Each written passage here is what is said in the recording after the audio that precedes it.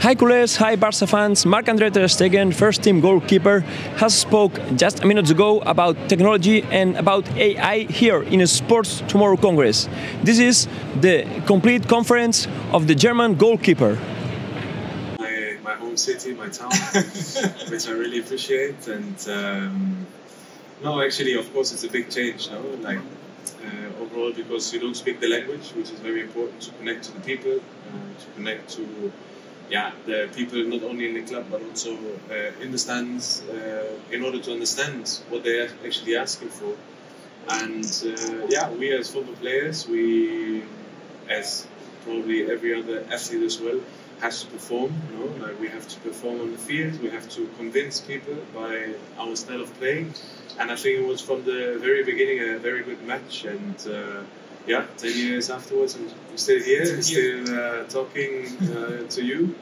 And uh, no, it's been a been a journey, and uh, yeah, I'm very happy that I made the step because it was also a bit risky um, by then because I was very young, and uh, it worked out very well.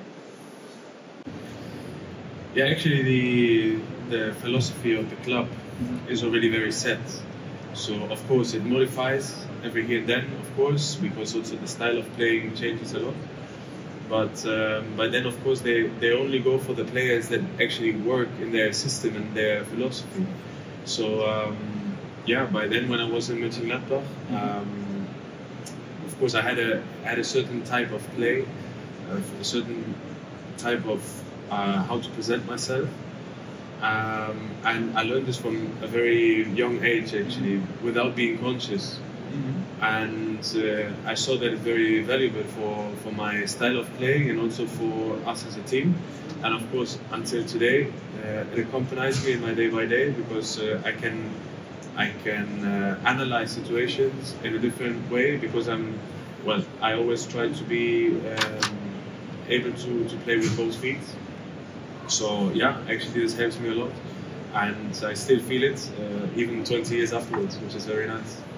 Uh, every year they try to make football better. Um, sometimes it's better, sometimes it's uh, maybe not perfect, but uh, I like the idea of adapting and always trying to find the best uh, way possible. Uh, the best example you mentioned probably with the VAR, that at the end maybe there were years we said like, mm, is it helping? Is it not? But uh, I think they're also trying to get it on a different level in order to make it even more accurate. Uh, they're finding ways. Uh, of course, there there are always doubts, but this is also technology. You know, like. Um, there will be a moment that we probably don't have to worry about anything. We just lay down and like we are just we're just and fine. the machines work for us. exactly. But uh, for the moment, also there's a bit the essence of football that you don't take away the, the responsibility of the referee or the the linesman, but uh, yeah, you give a lot of attention also to help them, which I think for them it's unbelievable because we sit in front of the television and me right now as well. and I look at the pictures and the images and I'm like, wow, this is clear offside.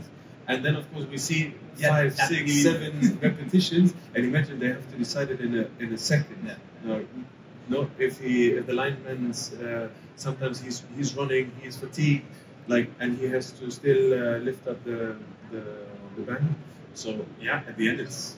Um, we, we rely on this, and I think it makes it for them way, way easier to take decisions and to take responsibility, which I think this is uh, very good for them. Actually, after the games, now we have uh, many different camera angles and here and there, and so it's very easy for us to collect all of them, to collect all the, the images, and then see also what you actually do, how you position yourself. Uh, you get a lot of feedback also you see percentages everywhere. Like data is a big, uh, big topic, and so of course you can analyze. You can also give it too much attention because sometimes it's not really. It doesn't give you an indicator if it was good or bad. But of course, definitely you get some feedback of what you did. Um, but later on, of course, it's a lot of feeling, you know, that, that you see, okay, I have to uh, be very good in a profile in order to receive the ball, in, in order to play, to continue the, the, game. And of course, we see maybe right now we see, okay, um, he he had a um, very good pass. He had maybe 10 times he, he missed it, but why did he actually miss it? And I think this is probably still missing, but everything which is attacking is very interesting because they analyze way more. Yeah. Even though in midfield, uh, in defense, you could also analyze a lot. But yeah, it's uh, getting interesting because everything is data, everything is, uh, yeah, they collect everything, and out of this, they can make way more changes uh, for the future, which which I think is, is beautiful. And for me, it helps me a lot seeing the videos, seeing the, the analysis of the games uh, in order to make a step forward. And I think we did it since actually the beginning. Now with more i- images, but by then also um, analyzing every every step I take. The mental, well, me- the mental part is probably the most difficult because sometimes also it affects many other topics that we probably or you don't see that maybe surrounds a player. That can be input from outside. That can be input due to problems in the knee, problems in the foot, like whatever. No, so this is also mental state for me. So you have to actually have everything in one bucket and say like, okay, why actually this happened to you, and why would you get injured, for example? In injuries, I think it's a very good example that. Uh, sometimes maybe you see this situation, you say, okay, it's clear, no, like he, he made a weird move, movement, but maybe it's more than this, you know? like maybe it's also training, it's um, topics that you have in the family, topics you have. It can be everything, and sometimes this is very interesting to to analyze, and then also to use that information in order to to to proceed and go maybe to. Now it has a bit more, um, yeah, weight. I would say uh, to a, psych- psychologist, for example, in order to uh, work on this. No, and uh, I think there are so many things that actually they have to work hard uh, hand in hand uh, in order to make a step forward. But uh, technology definitely helps. Uh, but there's also one state that probably is better right now for the moment that it's uh, also help from other parts. Um, right now, I see, of course, way more importance also that uh, they're the same. We, we use every image we can actually get of my movements in order to make them precise, to make them better than maybe two weeks ago. Because um, what you don't want is uh, that you start compensating, that something doesn't look natural anymore, or it looks very different to the other other side. For in my case, it's Mhm. you compare the side and side, no? and um, I think it's very interesting to see how people work with it. I see right now the the recovery coaches that I'm working with that they actually they, they work a lot with it. They look at every detail in my movements and um, I see big differences also from, from one week or maybe even two weeks to now. Uh, this um, yeah helps me a lot and I don't have to worry about it. Yeah, yeah. No, because I, I at the end I reproduce movements and I try to make it the best way possible and they think about what they actually see on the images in order to, to proceed, no? Like And in the particular case, probably gives you more confidence, right? Because you have 100%.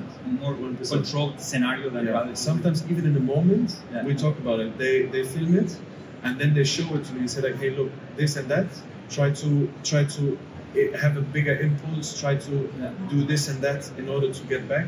And as I te- tell you now, uh, two weeks before, it, it looked completely different to now, no? Because it's something that they were working on every day, and. Um, yeah, I mean, right now it's about being a hard worker. Yeah. I try to be as hard uh, worker as possible, and then um, yeah, get back in, invested. And technology hopefully helps. helps accelerate the process. Yeah. Actually, it's quite funny because you can do everything. Everything. Uh, because right now I'm uh, working with Perplexity. Oh, me too. I'm- yeah, and I it's, use it a lot. it's so convenient. because they have the sources. Yeah, I think that's yeah. super I, valuable. I really like it also because even my, my son, he's five years old. Imagine, you imagine me with five years, impossible. But now it's like you can invent uh, a story, the story he wants to listen to. Like in in you just put whatever he wants to listen to, the name of the boy that he wants to. You know? And so the history gets like real for him Yeah. and uh, you can put like values you want to implement. You can talk about respect. You, like I think it's so natural and it's a short story, and he's so happy when he goes to sleep. and actually, it's him inventing it. uh, with the help of uh, AI. And uh, yeah, with me also the same. Every day I think I, I have questions in my in my, in my head. I say, I will ask, you know? and then you ask and, and you get a you get an idea of, of whatever it might be. And um, also for me, I was talking to my brother the other day because he's actually uh, working a lot with big data and, and stuff and data to, to compress them and stuff and financial systems and it's it's very complex, very complex. and so you ask uh, AI and you say like, okay, um, what is this about? Or program this and that. And of course, he's talking to me like on a ve- very different base than I would talk to him. You know, I have like these crazy questions sometimes, but he has like made more profound ideas. Also, it makes his work easier even because Yeah, he yeah. said like, hey, I can program something, and then I don't need to ask the maybe it's not good to, to the person that it actually belongs to, but uh, of course he can skip that part or at least get an idea of what he needs and then ask the person because it's very more pre- like very precise afterwards. And uh, I think it's so interesting that it doesn't matter which like in which profession you are it can give you input or it can filter information that later can be very valuable for you be just guided by this Yeah, yeah, and I think great. also there's an, uh, an emotional impact Agree. like if, you invest into companies, uh, of course it's not only based on the data. Because for me now, uh, yeah, we I invested recently in in cyber uh, security, and I need to say for me, of course, this is one topic, but then also later on the people that uh, execute actually the, the work and and the people who are involved, they have to have a profile, you know, and the profile is sometimes even more important than actually the the the the topic we're talking about. So, yeah, I, I think we have to keep it in balance because also on a human, you know, related uh, base, that I think there are also more important things than just data, but it can help you and it can guide you differently. I think there's always a bit of risk, you know. Uh, Like if you don't take risk, at the end you you you won't get any rewards. You know? And um, I appreciate the people that that are excited about their project. As I told you before now, that I think there's an emotional decision also from my side that uh, I talk to the people, I get a feeling for the person, I see what they do, um, and at the end you see an excitement in the, per- in the person or not, and you see if they have like the knowledge about the topic you you you ask for, no? And well, at the end, uh, I think it has so many inspiring ways actually to, to start building your own thing that uh, maybe maybe you will fail. Maybe like if we talk about many others that, that now they are very known for Uh-huh. their, their the risk they took by then because maybe it was very uncertain if it would ever go this way. And uh, sometimes it's it makes sense. Sometimes you say like "Hmm, it was unlucky but you also have to understand why you actually failed. Was it a fail or an error or whatever by yourself?